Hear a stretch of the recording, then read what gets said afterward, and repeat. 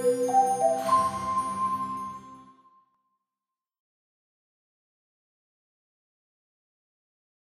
Professorin Dr. Ada Pellert. Sie ist seit März 2016 Rektorin der Fernuniversität in Hagen.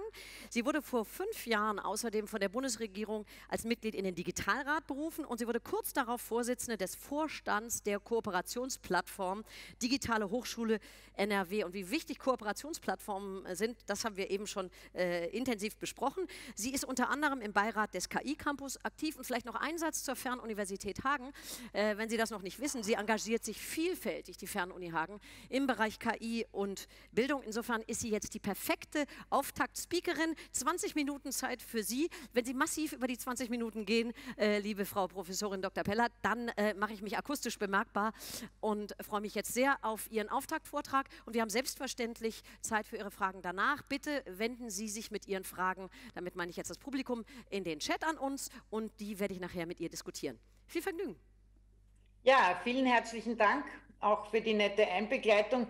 Ich bin natürlich keine KI-Forscherin, aber ich bin ein Mensch, der daran interessiert ist, Hochschulen äh, gut weiterzuentwickeln. Und da bin ich natürlich neugierig, welche Möglichkeiten da KI bietet. Und äh, wir haben natürlich in unseren Reihen an der Fernuniversität Forscherinnen. Ich nenne Claudia de Witt, die ja auch äh, beim Festival dabei ist, die einfach gemeinsam auch hier mit Florian Rampelt, KI Campus, äh, aber eben auch DFKI, äh, Nils Pinkwart, der ja auch der wissenschaftliche Leiter des ähm, KI Campus ist, die haben in meinen Augen ein super schlaues Papier äh, geschrieben, das einfach hilft äh, einzuordnen, was sind jetzt gerade die zentralen Themen und Fragestellungen hinsichtlich der Integration von KI-Themen in den Hochschulkontext. Das White Paper vom äh, letzten Oktober kann ich nur jedem empfehlen. Was heißt es, mit KI zu lernen, über KI zu lernen, aber auch trotz KI zu lernen? Und äh, die haben für mich äh, zehn gute Gründe für die äh, künstliche Intelligenz in der Hochschulbildung aufgeführt. Also es hilft uns mal, kognitiv, äh, unsere kognitiven Fähigkeiten zu verstehen, zu verbessern, weiterzuentwickeln. Aber wir werden diese Verfahren auch künftig für die Ausbildung metakognitiver Fähigkeiten, kritisches, kreatives Denken, Argumentieren, Problemlösen einsetzen. Auch hier gilt, wie für alle Technologien, die wir im Bildungsbereich einsetzen, ich muss mir zuerst überlegen, was ist eigentlich meine Vorstellung, meine Idee von Lernen? Ja, und das kann eine sehr behavioristische sein, dann werde ich Technologien so einsetzen, oder es ist eher eine konstruktivistische, dass man dieses Wissen und Bildung gemeinsam konstruiert, ja, dann werde ich die Technik dafür einsetzen. Also die ist an sich für eben auch das, was Universitäten seit Tausenden von Jahren befördern wollen, nämlich kritisches und kreatives Denken, auch unterstützend gut einsetzbar. Äh, Personalisierung kann ein individuell erfolgreiches Studium besser unterstützen als das bisher standardisierte Studium. Ich glaube, dieses One Size Fits All, das funktioniert einfach auch nicht in der Bildung. Ja, es funktioniert auch in allen anderen Bereichen nicht, wenn Sie auch an die Möglichkeiten denken, die die Digitalisierung etwa im medizinischen Bereich hat oder auch in der Landwirtschaft. Je genauer wir sind, je stärker wir sozusagen customizen, individualisieren können, desto besser werden wir. Und das gilt natürlich auch für den Bildungsbereich. Und man kann mit KI einfach ganz große Datenmengen durchforsten und plötzlich Muster erkennen, die uns einfach helfen, Studienverläufe ähm, zu verbessern oder unsere Vorhersagen ähm, sozusagen zu verbessern. Also alles kreist, wie machen wir das Studium noch ein Stück erfolgreicher für das einzelne äh, lernende Individuum. Und ich glaube, da braucht der Mensch vor allem individualisiertes Feedback. Ich würde mir wünschen, wir könnten jedem Studierenden einen ganz persönlichen, ja, also gar nicht eine künstliche Intelligenz, sondern einen Menschen zur Seite stellen, das ist eine unrealistische äh, Vision im Hochschulsystem. Das heißt, wir müssen schauen, wie können wir maschinengestützt individualisiertes Feedback generieren. Und natürlich kann KI mir helfen, als Lehrende meine Lehrstrategie zu überprüfen. Wie plane ich, analysiere ich meine Lehre? Kurzum, gut eingesetzt kann KI einfach die digitale Hochschullehre doch noch mal um einiges weiter befördern. Das finde ich daran interessant. Und da wären wir bei meinem ganz persönlichen Zugang. Ich denke, am Anfang muss die Frage stehen, was braucht gutes Lernen? Ich habe zu oft gesehen, wie schnell wir in die technologische Diskussion springen, ob das jetzt KI ist oder vor vielen Jahren die ersten Ansätze des E-Learning. Diese Frage, der muss ich mich stellen und die beantworte ich für mich, dass gutes Lernen ganz viel mit Personalisierung und Individuenzentrierung zu tun hat, einerseits und adaptiven Lernumgebungen andererseits. Erster Punkt. Zweiter Punkt. Entwicklung braucht Feedback, damit Menschen, egal welchen Alters, ja, in der Grundschule genauso wie später als Führungskraft, sich entwickeln können, brauchen sie Rückmeldung, Feedback. Das geht in Richtung Guidance, Beratung, Mentoring, aber ich brauche sozusagen ein, ein, viele Rückkopplungsmechanismen, damit ich mich als lernender Mensch gut weiterentwickeln kann. Und wir müssen ein Stück, und das ist, glaube ich, im Moment einer der Haupteinsatzpunkte der KI im Hochschulbereich Learning Analytics. Wir können evidenzbasiert Lehr-Lernprozesse verbessern. Ja, also das, was wir aus Daten herauslesen können, zur Verbesserung der Lehr-Lernprozesse verwenden. Also KI kann ganz zentrale Dimensionen des guten Lernens unterstützen. Und ich bin sehr dafür, dass wir ganz neugierig den Möglichkeitsraum äh, erkunden, nicht naiv erkunden, reflexiv erkunden, aber Betonung des Möglichkeitsraums, weil ich sage das, weil wir uns im deutschsprachigen Raum befinden und wir ähm, sollten nicht sozusagen gleich mal erst starten mit dem Bedenken, sondern neugierig, aber wie gesagt auch reflexiv die Möglichkeiten. Und daher würde ich mich äh, gerne den Chancen zunächst widmen. Also personalisiertes Lernen, adaptive Lernumgebungen. Äh, personalisiertes Lernen findet statt, wenn ich eben den einzelnen Studierenden erreichen kann. Wo, wo hält er oder sie kompetenzmäßig? Ja, wie kann ich die Bildungsmotivation, das Engagement ansprechen? Wie kann ich ihre individuellen Lernbedürfnisse nicht nur berücksichtigen, sondern über Feedback, Rekommendersysteme auch diese wechselnden Lernbedürfnisse flexibel und im individuellen Lerntempo entsprechend begleiten, anpassen. Also ich glaube, diese Personalisierung, wir sind alle anders, wir lernen alle anders und wir müssen einfach nicht so wie jetzt one to many, eine Person spricht zu vielen, sondern umgekehrt viele, viele Wege, Möglichkeiten, mediale Möglichkeiten zur einzelnen Person bringen, damit sie und ihr Lernen gut ähm, ja, unterstützt wird. Das ist eine große Chance. Die zweite große Chance ist im ganzen Problemkreis Empfehlung, Beratung, Mentoring. Ich denke, Informationen für Studierende können über Chatbots und Recommendersysteme gebündelt werden. Die Tutorensysteme werden immer intelligenter. Ich, ich, glaube, wir sind in anderen Bereichen des Lebens ja schon ein Stück vertraut und finden das auch ganz praktisch, ja, wenn jemand auf unsere Vorlieben eingeht. Wir müssten das einfach übertragen auf den Bildungsbereich, natürlich unter Wahrung der Privatsphäre, unter äh, Selbstbestimmung der Studierenden, freiwillige Nutzung. Also es gibt Spielregeln, die man da einhalten muss. Aber ich fände es natürlich toll, wenn wir hier mehr virtuelle Begleiter für Studierende bekommen, zusätzlich natürlich zu den anderen Formen der Beratung und Begleitung. Aber je vielfältiger das Beratungssystem ist, je dichter das Beratungsnetz, desto größer der Erfolg. Wir sind eine Hochschule mit fast 80.000 Studierenden. Wir müssen überlegen, wie wir auch für große Kohorten Begleitung, Beratung, Individualisierung äh, hinbekommen. Und das ist das, was mich an äh, KI hier interessiert. In dem White Paper gibt es eine Tabelle, die habe ich äh, gut gefunden für das Thema Learning Analytics. Also ich glaube, für Hochschulen als datengetriebene Wissenschaftseinrichtungen ist es Learning Analytics, das im Moment für verschiedene Ebenen, für die Lehrenden, die Lernenden, die Organisation äh, und die Mikro-, Meso- und Makroebene des Lehrgeschehens gute Möglichkeiten bietet. Mich als Rektorin interessiert zum Beispiel die organisationale Ebene. Ja, wie kann ich die, die, das Monitoring, die Revision von Studiengängen, die Unterstützung bei der zeitlichen Planung, wie kann ich ein großes Lehr-Lerngeschehen institutionell besser unterstützen?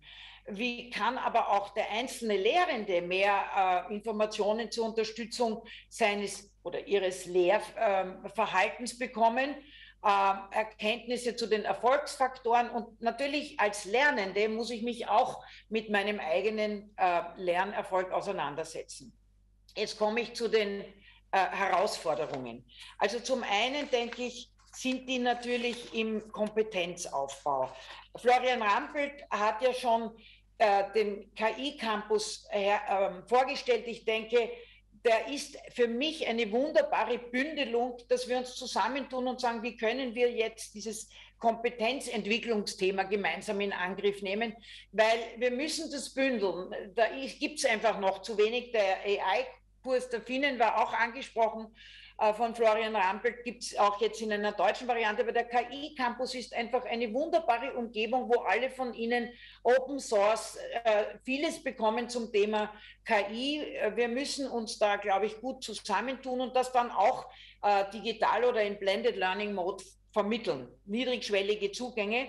Und dann wird natürlich auf uns zukommen, wie kategorisieren wir eigentlich diese verschiedenen Kompetenzen? Noch ist das ja so eine große Landschaft. Ja, die werden wir dann in einzelne Länder unterteilen müssen und überlegen müssen, was sind da auch Kompetenzstufen. Dann möchte ich die Herausforderung Datenkultur nennen. Ähm, ja, ich bin, ähm, es wurde erwähnt, ja auch im Digitalrat der Bundesregierung seit drei Jahren, wir haben uns da sehr bemüht, eine nationale Datenstrategie mit auf den Weg zu bringen, weil äh, das ist, finde ich, auch schön, dass Deutschland als eines der wenigen Länder so etwas hat, weil wir einen ganz anderen Blick auf Daten einnehmen müssen. Ich sage das noch einmal äh, sozusagen besonders im hochschulischen Wissenschaftskontext. Wir sind ja Datenorganisationen. Aber wie wir mit diesen Datenschätzen umgehen, da gibt es sozusagen noch Luft nach oben. Wenn ich mir überlege, auf welchen Daten sitzt zum Beispiel die DFG, wie bereiten wir die aber auf, dass wir dann am Ende wirklich Open Data, in Open Innovation in Europa auch wirklich in einem Ausmaß pflegen können, das weit über das, was wir jetzt in diesen versäulten Strukturen haben, nützen können. Das heißt, wir müssen in der eigenen Einrichtung uns mit unseren Daten ganz anders auseinandersetzen. Es fällt mir immer wieder auf, ja, wir sind zwar datenbasiert, faktenbasiert, wissenschaftlich, aber als Einrichtung vertrauen wir dann doch häufig lieber mal auf das gute, klassische, alte Vorurteil einer Fakultät über die andere, schauen nicht zu Zahlen, Daten und Fakten, sondern tauschen lieber diese persönlichen Einschätzungen aus, die nun mal jeder Hochschullehrer über den anderen hat. Also Datenkultur, Data Literacy, das wurde schon genannt, ist ja viel auch über äh, Modellstudiengänge etwa des Stifterverbands in Gang gesetzt worden. An allen Hochschulen äh, sind viele Data Science ähm, entstanden. In, den einzelnen Fächern wird Data Literacy befördert. Ja, ich glaube, da müssen wir äh, dringend äh, weiterkommen. Das ist total äh, spannend und würde unseren Beitrag auch äh, zu einer internationalen Open Data Strategie sozusagen ähm, unterstützen. Dritte Herausforderung, das Vertrauen. Mit KI sind einfach viele Ängste verbunden. Das ist emotional nachvollziehbar. Und man hat auch Angst, dass vielleicht die ganzen Empfehlungssysteme dann in Richtung ähm, ausschließende Kriterien oder nur Durchschnittskriterien, wie kann das äh, Diversität sozusagen auch widerspiegeln. Natürlich müssen wir auf das achten. Wir dürfen das nicht naiv betreiben. Wir brauchen Transparenz, wir brauchen Sensibilisierung und Partizipation, eine kundige Auseinandersetzung. Und es gibt mehrere äh, Bewegungen, Bemühungen, die jetzt in Richtung Trusted Learning Analytics gehen, als ethisch verantwortungsvoller, transparenter Einsatz, ja, institutionelle Selbstverpflichtungen, aber auch individuelle. Wie stehe ich äh, zu meinen Daten? Wie, wie kann man in, in kundiger Auseinandersetzung mit dem Thema und innerhalb eines ethischen Rahmenkonzepts. Ja, all das führt zu neuen Rollen. Also ich glaube, wir müssen ja immer mehr kuratieren, sozusagen Qualitätssicherung auch betreiben, äh, Lernbegleitung etablieren. Hier braucht es entsprechende Begleitung, ja, Auseinandersetzung der Lehrenden. Was heißt das alles für unsere Rollen als Lehrende? Wie vielgestaltig können diese Rollen sein und wie fügen wir sie wieder in ein gutes Lernarrangement. Das führt dazu, dass wir natürlich andere Supportstrukturen an den Hochschulen benötigen, sonst führt das zu einer Überforderung auch der, der Lehrenden. Ich muss, äh, und ich würde immer sagen, Primat der Didaktik. Ich muss zuerst wissen, was ist gutes Lernen, was ist mein Lehr-Lernkonzept und dann kann ich eben alle technischen Möglichkeiten, auch KI, entsprechend anwenden, aber in der Reihenfolge.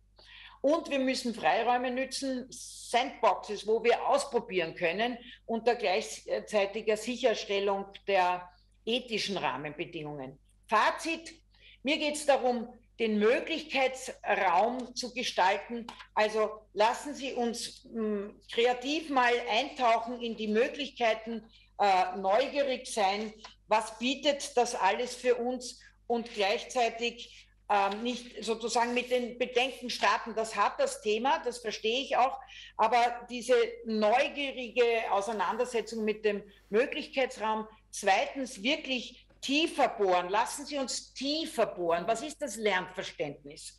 Ja, was, wie stellen wir uns gutes Lernen vor? Legen wir das frei und springen wir nicht schnell in irgendwelche technischen Möglichkeiten? Loten wir die Chancen aus und bilden wir Kompetenzen aus? Data Literacy ist unersetzlich äh, im Sinne eines kundigen Umgangs.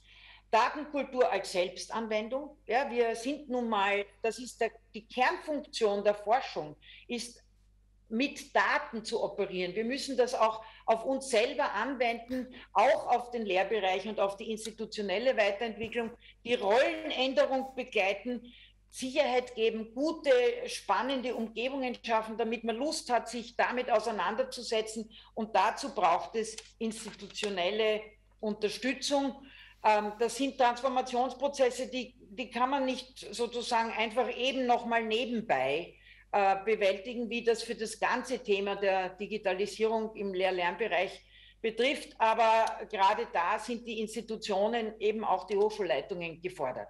Ja, damit würde ich es jetzt äh, gut sein lassen. Ich würde die Bildschirmnutzung hiermit beenden und wir äh, können uns sozusagen ähm, so jetzt besser ähm, noch unterhalten. Und ich würde mich freuen, wenn es noch die eine oder andere Frage für die Diskussion gebe. Danke. Äh, gibt es, Frau Professorin Pellet. Wunderbar. Vielen Dank für diesen starken Auftakt.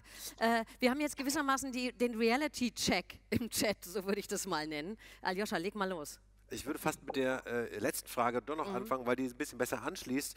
Äh, Jürgen, der, der sagt, äh, über all das, was Sie reden, reden wir natürlich über digitale Lehre und über Daten, die wir auswerten. Die reale Lehre an deutschen Hochschulen ist aber in Präsenz und live und vor Ort, wo überhaupt nicht diese Daten anfallen. Und das ist eben die Frage, wo bekommen wir die Daten dann her oder was muss sich an der Stelle dann eigentlich ändern?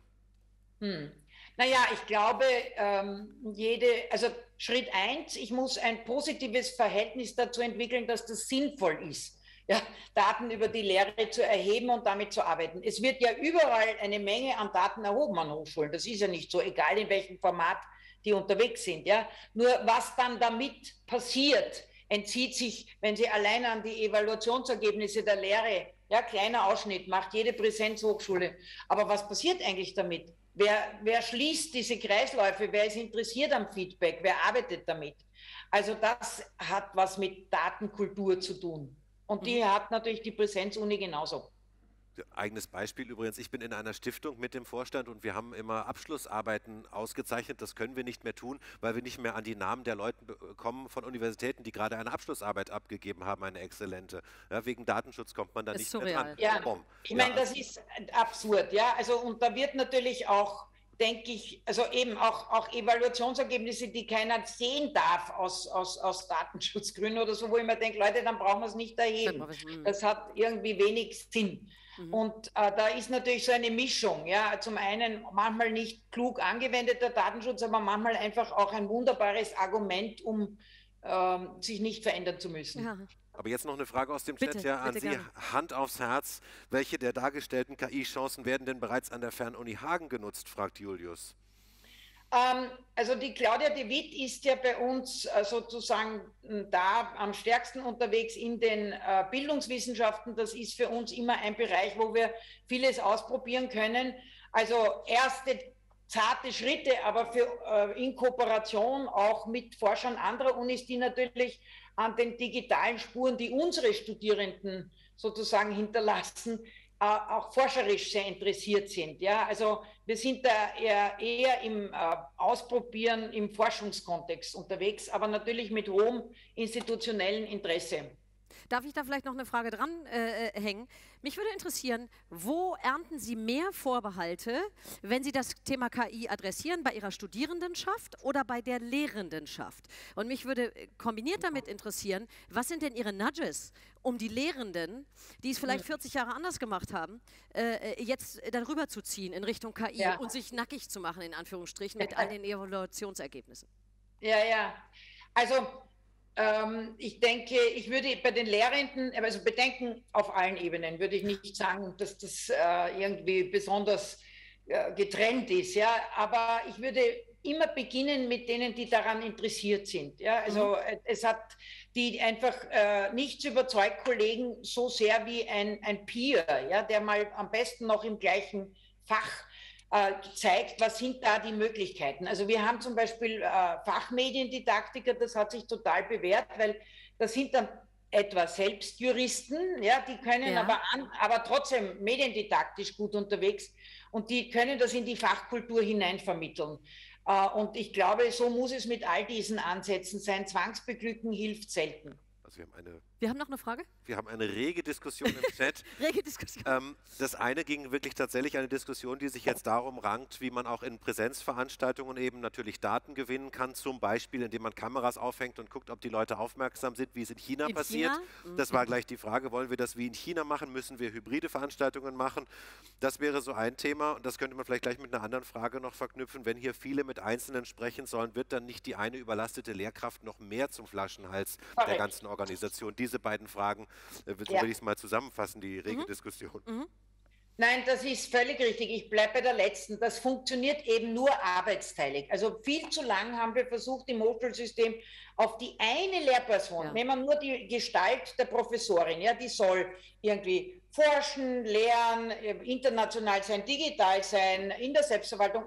Klappt nicht. Ja, der semiprofessionelle Allrounder ist selten ein Erfolgsmodell. Und gerade in der Lehre müssen wir uns Arbeitsteiligkeit angewöhnen. Also ich kann sagen, äh, Fernuniversität, das war immer arbeitsteiliges Lernen. Ja, da gibt es unterschiedliche Rollen von den Tutoren, Mentoren, Supportstrukturen. Und wenn wir da einsteigen wollen, muss das klar sein. Deswegen ist mir das mit den Supportstrukturen so wichtig.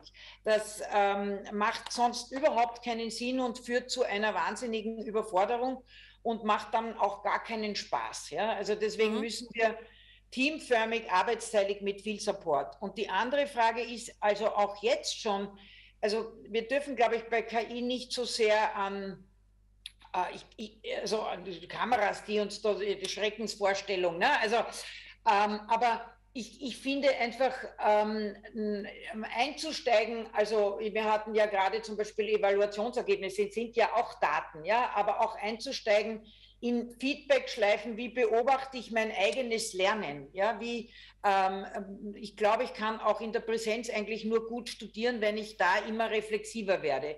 Und je mehr mir da zur Verfügung gestellt wird, das auch zu reflektieren, desto besser wird das Lernen. Ich habe das Gefühl, ähm, dass in den meisten Hochschulen wir in, in Richtung Blended marschieren. Ja? ja? Und da müssen wir eben unterscheiden. Geht es jetzt um das Lernen des Lernenden? Geht es um das Lehrkonzept des Lehrenden? Oder geht es eigentlich um die Daten, die die Institution schon hat, um die sie sich aber nicht kümmert, um ihr Lehrgeschehen zu verbessern? Darf ich nochmal fragen, wenn es um die Veränderung äh, äh, der Qualität des Lehrenden geht, haben Sie da sowas wie eine Generationenkohorte? Das, das heißt, die, die, Älteren sind gegebenenfalls, sogar haben wir ja in manchen anderen Bereichen auch, wo es um Digitalisierung geht, fast offener als Jüngere oder so? Oder erleben, ist das komplett individuell? Ähm, also ich würde sagen, es ist... Äh, ich meine, neben einer generellen Affinität äh, sozusagen, das ist ein Generationen, ja, wie, wie, wie leicht ist der Zugang. Ja. Und Ja, also ich meine, meine Kinder sind mit digitaleren Fingern sozusagen geboren als ich. Ja? Aber die, das ist mal ein gesellschaftlicher Trend. Aber unter den Lehrenden ist es eher wer ist interessiert an guter mhm. Lehre, wer ist neugierig, wer will mhm. was ausprobieren, ja. Ähm, ja, wer hat erlebt, wie gut das Feedback ist, wenn man an seiner eigenen Lehre arbeitet. Ich habe erlebt auch Leute, die in gesetzteren Jahren sich mal dann in die Hochschuldidaktik sozusagen verirrt haben, die mit ganz neuen Erkenntnissen rausgekommen sind und plötzlich gemerkt haben, hey, das macht ja viel mehr Spaß, wenn ich gute Rückmeldungen bekomme. Mhm. Und um das geht es eigentlich, mhm. ja. Mhm. Wobei man aber auch heute, wenn Mediakommentar erlaubt ist, in Corona-Zeiten gesehen haben, dass auch jüngere Leute dazu neigen, ihre Kameras auszuschalten und wieder eine neue, sagen wir mal, digitale Furcht, hier war von German Angst German die Rede, oder sagen wir mal zumindest mal Be Be Besorgtheit entwickeln. Ne, da muss man sicherlich auch mit umgehen. Ne? Das ist also aber vielleicht daraus nochmal, gerade weil du das sagst, eine Frage äh, äh, an Sie. Ähm, ist es wichtig, um die ersten Schritte als Studierende zu gehen, sowas wie diese in dieser Sandbox-Erfahrung, mhm. Closed Shops mit Datenschutz abzusichern, zu sagen, Leute, das ist jetzt wirklich wie Sandkasten. Ihr könnt hier hin und her bauen, ihr könnt alles mhm. ausprobieren und nach diesem Schnupperkurs äh, äh, gewissermaßen erstmal den Vorhang zu lüften. Ist das ganz genau. wichtig, um die ersten ja. Erfahrungen zu ermöglichen, wenn die positiv ja. sind, dass die Reise weitergehen kann? Ja? Genau, würde ich, würde ich ganz unterstreichen. Wir haben auch gute Erfahrungen mit unserem eigenen Datenschutz gemacht. Einfach gesagt, da gibt es jetzt eine forschungsbasierte Probeumgebung. Ja. Geht es das ein Stück mit? Wir machen noch nicht den Regelbetrieb, sondern wir ja. schauen uns das alle einmal gemeinsam an. Also man muss einfach neugierig sein und ausprobieren können. Wenn wir alle Eventualitäten im Vorhinein klären wollen, dann passiert das, was im deutschen Schulsystem passiert ist. Wir sind einfach way back, ja, weil ja. wir nicht uns trauen, was auszuprobieren. Ja. Wir haben noch eine mehr strukturelle förderpolitische Frage, die von Eduard Müller kam. Hat die Fernuni Hagen Mittel aus dem Bund-Länder-Programm für KI in der Hochschullehre erhalten? Und falls ja, wie wurden diese investiert? Ein Projekt von der Claudia de Witt, ja, also die ist äh, da eben unterwegs. Ähm, und äh, ich glaube, Impact ist das eine. Ich habe sie jetzt nicht alle, aber wir haben einige ähm, ähm, sozusagen, die ganz stark in eben den Lehrbereich geht. Ja, also wir haben jetzt auch eine, eine äh, sozusagen KI-Professur, aber die ist mhm. halt im Forschungsbereich. Äh, Claudia de Witt und ihr Team ist mit anderen ähm, unterwegs ähm, in, in dem Bildungsbereich und das ist für uns einfach der stärkste mhm. Einsatz. Also äh, sehr gute Nachricht schon mal. Sie haben jetzt Claudia de Witt äh, mindestens zweimal erwähnt. Wir haben sie nachher, nein, nein, das ist ja auch gut so. Äh, wir haben sie nachher auf dem Panel. An der Stelle möchte ich mich auch mal ganz kurz freuen, dass wir ziemlich gender, äh, genderoffen sind äh, bei der heutigen ja, Veranstaltung, was im KI-Zusammenhang auch nicht immer notwendigerweise der Fall ist. Nein, also wir haben sozusagen alles vertreten. Ähm, ich ähm, möchte noch eine Frage und die ist eher, geht ein bisschen weg vielleicht von der Fernuni. Ihre Überzeugung, was sind die wichtigsten Kräfte, Netzwerke, Energien, was sind die wichtigsten Schaltstellen, um das Thema, jetzt auf die Zukunft betrachtet, weiter äh, massiv in die Breite zu bringen und zu einer wirklichen Verankerung von KI in der Hochschule zu führen? Also systemisch. Jetzt rede ich nicht nur von der Fernuni. Okay. Was sind für Sie die wichtigsten sozusagen Zündwerkzeuge da? Ähm, also zwei Punkte sind immer wichtig bei Hochschulentwicklung. Ich nenne das immer Scheinwerfer und Karotten. Also Scheinwerfer ist Reputation das System ist gesteuert über Reputation.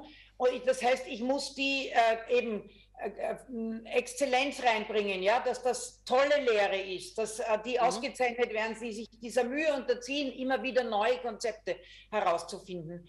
Äh, Karotten sind eben, denke ich, äh, Förderaufrufe, Ressourcen, äh, das hat der Florian Hampelt ja auch schon gesagt, das geht nicht eben mal so, ja, das ist harte Lehrentwicklung und da müssen wir auch Zeit und Geld dafür zur Verfügung stellen. Aber systemisch die, der intelligenten Kooperation gehört die Zukunft. Und mhm. wir müssen im Hochschulbereich, und da ist deswegen der KI-Campus für mich ein wirklich gutes Beispiel, lernen, gut zu kooperieren. Ja, wir müssen all das, was wir schon wissen und noch brauchen, einmal mhm. zusammentragen. Und das ist in einem fragmentierten, versäulten Bildungsbereich keine Selbstverständlichkeit. Und deswegen verbringe ich sehr viel Zeit mit Bündelungsversuchen, ob das in NRW mit der digitalen Hochschule ist oder auf nationaler Ebene. Also für mich liegt dort äh, der Schlüssel, kombiniert mit immer zu zeigen, Leute, dadurch soll Lehre besser werden und Lernen lustvoller. Also das ist jetzt, ähm, ja, weil sonst, warum sollte man es sonst tun? Auch Aljoscha nickt. Also kein Widerspruch aus den eigenen Reihen hier. Vielen herzlichen Dank für diesen tollen Auftakt. Ähm, ich würde jetzt nicht sagen, Sie, das ist so enthusiasmierend, dass eigentlich wir eine Viertelstunde Pause gar nicht brauchen, aber wir haben Sie im Programm und deswegen nehmen und geben wir sie uns jetzt. Vielen herzlichen Dank nach Hagen an Sie.